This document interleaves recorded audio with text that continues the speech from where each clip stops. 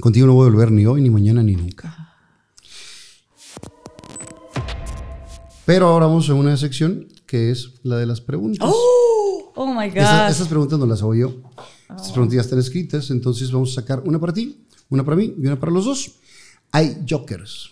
Si me sale un joker a mí, yo te puedo preguntar. Lo que se te dé cosa. la gana. Aunque rompamos el contrato de, Oh my God. de confidencialidad, digo, eso no lo saco al aire, pero me lo tienes que decir. Ok. y si sale un Joker para allá, tú me preguntas lo que tú quieras. Y acá para los dos. Ahí va.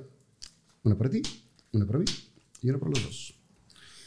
Yo arranco. Cuenta la peor vez que haya sido rechazado por alguien. Eh, yo creo que hace muchos años tuve una novia con la que duré mucho tiempo.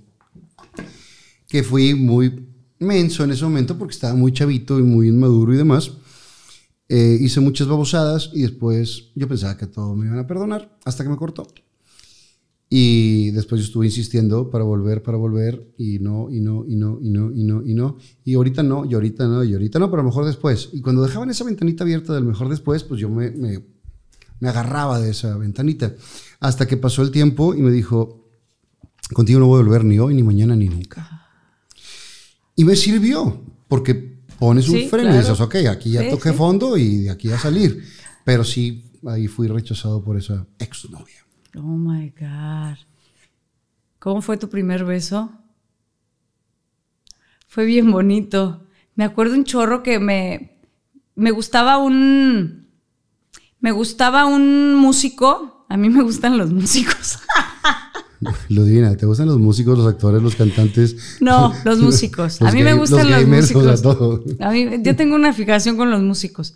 Y, y fíjate que este, me gustaba mucho, pero era mayor que yo y como que no me hacía caso. Y un día, en una fiesta de, de, de actores y de actrices y así, y se me acercó y me dijo, cierra los ojos. Y me dio un beso.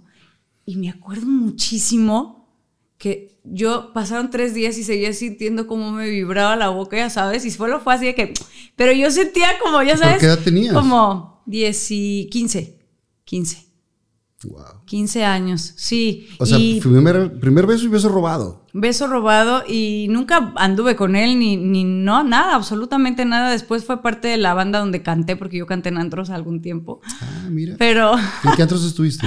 en el, ba- ah, en el barrio, en el reloj, en la orden, en el cuartel, en la tocada. El, el- ¿La tocada cuál era? La tocada estaba, eh, eh, híjole, es que no me acuerdo, en Mississippi y duró muy poquito. Sí no me acuerdo. No, no sé. Los demás que dijiste, sí, fui a en todos. algunos canté, canté en algunos, este, y fue muy bonito, sí fue bonito esa vez. La segunda vez ya no estuvo tan padre, pero dijiste la primera. Sí, pues, ese decía el primero. Y dice, ¿qué es más importante en tu vida? ¿Tu vida personal o tu carrera profesional? Mi vida personal, fácil. Pero están ligadas, es la misma. Pues si no tengo dos vidas, solo tengo una. Sí, pero por ejemplo, en algún momento de tu vida, sí pensabas que tu carrera era más importante. Sí, antes de tener hijos. Eso, eso es lo que te puede.